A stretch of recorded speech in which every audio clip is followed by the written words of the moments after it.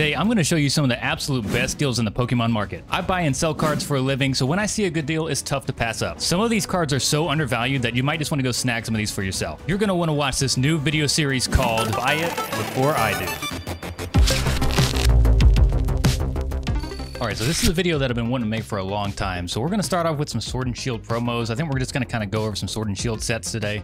So some cards that I think are really undervalued compared to what type of card they are, the collectability factor, you know, if it's going to be reprinted or not, if there's going to be more of this card available, does it fit in a set, is it something like that. So we're going to look at these cards here, and we're going to start off with the Evolution promos from those collection boxes. So they printed another box of those last year, and uh, of course they got bought out. They were going for crazy amounts, and the promos actually tanked really bad. So we're gonna look at these real quick. Any, really, all six of them are gonna be a good deal to pick up because they've tanked so much from where they were. We're gonna take a look at a graph here to show you exactly how much they've tanked. So if we look here at the six month graph on this Vaporeon VMAX, you can see it at right around December of 2022, this absolutely tanked and it's actually back on the rise here. So for the evolution uh, alternate arts like this, especially with evolving skies going up as much as it is, these are going to be a great pickup. It's under $20 right now. You can pick up this Vaporeon VMAX alternate art, which is a great deal. And that goes for the same across all six of the uh, evolution promos. So definitely pick these up. All right, the next card on the list might be a little bit of a curveball. This is actually going to be the Pikachu VMAX from the Crown Zenith box.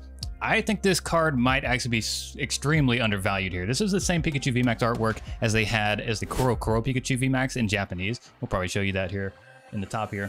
But uh, look at the three month graph on this. I mean, it started off as like a $10 card and it's dropped all the way down to a dollar. So I don't think this card can really get any cheaper. I don't know how long it's going to take for this card to appreciate, but I think in a couple years, this card is going to be going for at least back up to $10.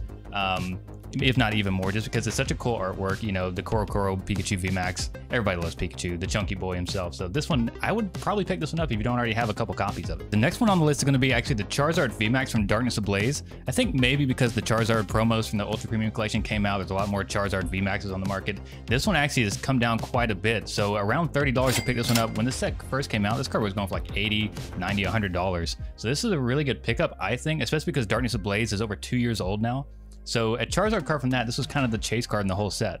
So uh, for 30 bucks, you don't have to open any more Darkness Ablaze. I think this is a definite buy. Speaking of Charizard, guys, just Champion's Path is just not good. It never has been. These ETBs are going for over $100. The pull rates were not super great. If you don't pull a Charizard, then you kind of lose all your money from opening the ETB. There's nothing really else redeemable about this set.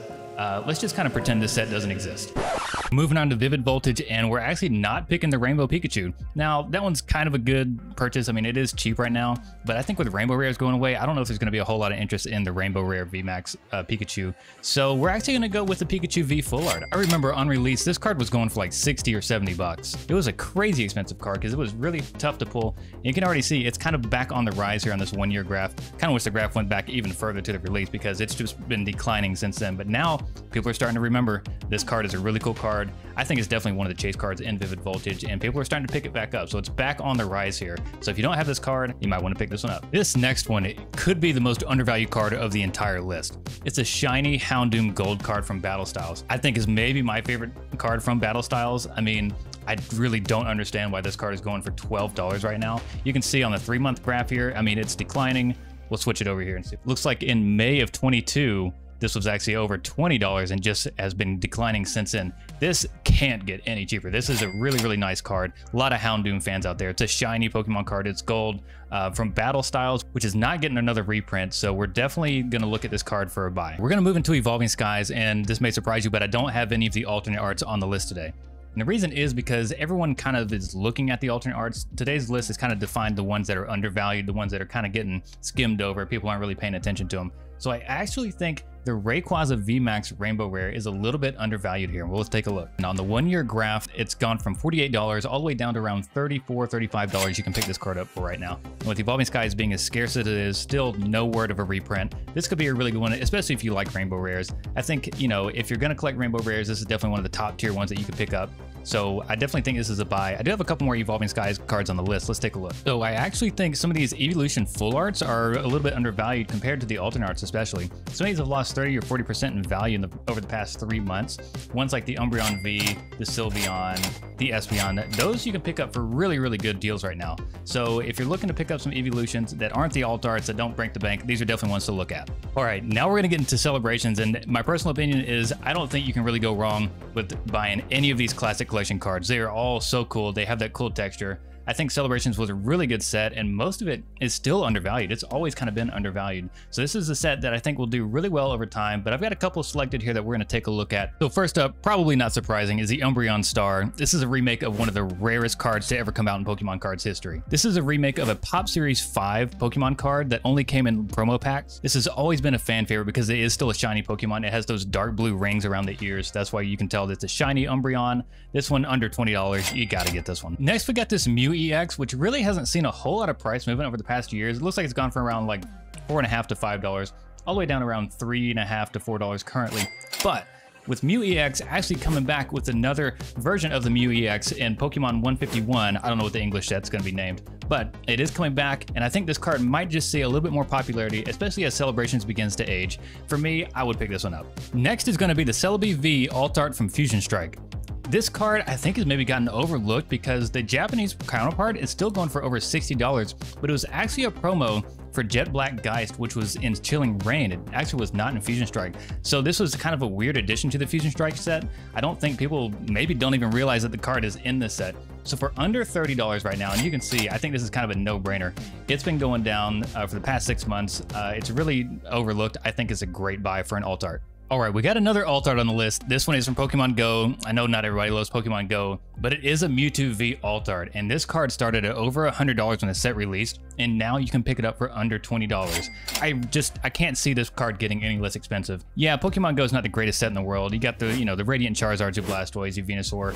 That's really about it, plus the Mewtwo V alt art. So this is the top chase card in the whole set. So for under $20, you don't have to open up any Pokemon Go anymore. I would definitely pick this up if you like Mewtwo, if you like alt arts. So there's actually a few cards in Silver Tempest I wouldn't mind picking up, like the Regidrago art, maybe even the Unown V alt art. They've actually come down quite a bit recently, but I think the one that stands out to me the most is this Rayquaza VMAX uh, black and gold card. A lot of these black and gold cards are actually really cool. The pull rates were just a little bit more than I guess you, than you would expect, but they're not as crazy as you might think. When we were opening Silver Tempest, in about six boxes of full case, we would get about both of the gold cards. So in this one was the Rayquaza and the Duraludon. One per every three boxes, not super crazy, especially if Silver Tempest doesn't get a reprint. I think this card could definitely see some increase in value. Right now it's under $4. So I mean, if you like the black and gold cards, if you like Rayquaza, this is definitely a pickup. And now it's time for Crown Zenith. And oh my goodness, this Pikachu Secret Rare from the main set is one of the best looking Pikachu artworks they've ever come out with. In fact, the Japanese counterpart came from the Precious Collection, and that card is going for an insane amount of money still. The fact that that you can get this card for under $15 right now absolutely blows my mind. I don't really think there's anything in the Galarian Gallery that's undervalued currently, but this card is absolutely undervalued. I would pick up as many of these as you can, honestly. This is uh, this is way too cheap for this card, especially with how rare it was to pull. I am going to throw in the Radiant Charizard on this list today because it's around $5 currently, and I think that's still way too cheap for this card, especially when the Pokemon Go one is actually going for more than this one. This, I think, is a better artwork. I think people thought that this was kind of a better edition of the Radiant Charizard. They did remake it. Uh, there's not a whole lot of people that like the Pokemon Go version, but this one definitely makes it to the list because if you can get this one for five bucks, a shiny Charizard card, definitely go for it. Well, that's it for this episode of Buy It Before I Do. Let us know down in the comments if you have any suggestions for cards in the next episode. Thanks so much for watching, and we'll see you next time.